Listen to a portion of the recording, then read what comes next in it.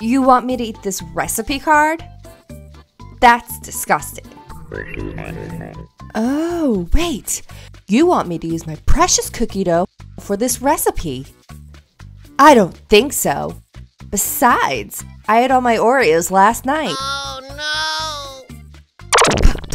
Stop, stop, stop, stop, stop! Ugh. You want me to use your Oreos for your chocolate chip cookie covered Oreo recipe? That sounds amazing! Because I've got munchies.